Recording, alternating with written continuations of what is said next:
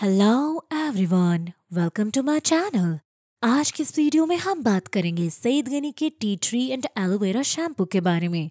इसकी क्या प्राइस है? क्या बेनिफिट्स हैं? क्या आपको ये बाय करना चाहिए या नहीं? कंप्लीट इन्फॉर्मेशन आज के इस वीडियो में मैं आपको दूँगी। तो चलिए वीडियो शुरू करते हैं। फ़र्स्ट ऑफ़ ऑल नीचे दिए गए रेड सब्सक्राइब बटन को क्लिक करके मेरे चैनल को सब्सक्राइब कर लें और साथ दिए गए नोटिफिकेशन बेल आइकन को भी प्रेस करें।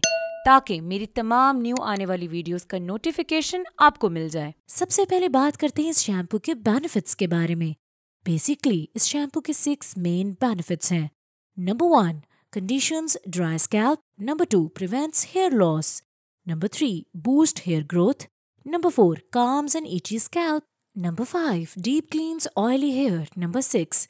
Strengthens and repairs hair strands.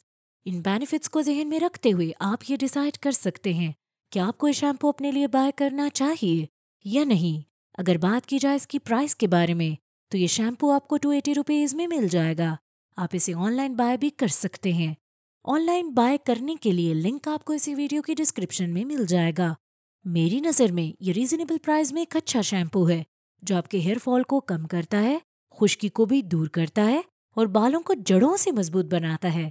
इसके इस्तेमाल से आपके बाल खूबसूरत, मज़बूत और शाइनी भी हो जाते हैं।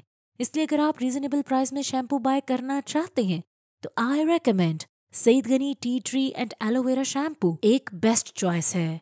अगर आपको मेरी ये वीडियो पसंद आई है तो वीडियो को लाइक करें और मेरे चैनल को सब्सक्राइब करें। Thanks for watching